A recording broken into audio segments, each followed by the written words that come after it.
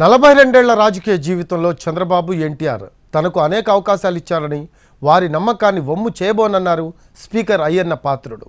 పదవీ బాధ్యతలు చేపట్టిన తర్వాత తొలిసారి విశాఖకు వచ్చిన ఆయనకు ఎయిర్పోర్ట్లో టీడీపీ నేతలు అభిమానులు ఘనస్వాగతం పలికారు.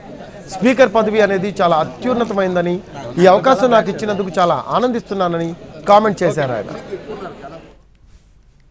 జిల్లా నుంచి స్పీకర్ చంద్రబాబు నాయుడు గారిని నాకు అనేక అవకాశాలు ఇచ్చారు. మంత్రి చేశా ఎంపీ చేశా అన్నీ చేశాను.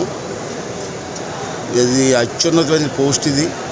గౌరవమైనటువంటి పోస్ట్ ఇది స్పీకర్ పదవి అనేది అది కూడా నాకు ఇచ్చి గౌరవించినందుకు నాకైతే చాలా సంతోషంగా ఉంది. ఉత్తరాంధ్ర జిల్లా నుంచి మన విశాఖ మన జిల్లాల నుంచి మళ్ళీ స్పీకర్ పదవి వచ్చినందుకు ఆనందంగా ఉంది.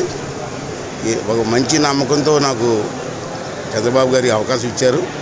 ఆ నమ్మకాన్ని ఒమ్ము చేయకుండా ఆ చైర్కి గౌరవం వచ్చేలాగా నేను బిహేవ్ చేస్తానని చెప్పి మీ అందరికీ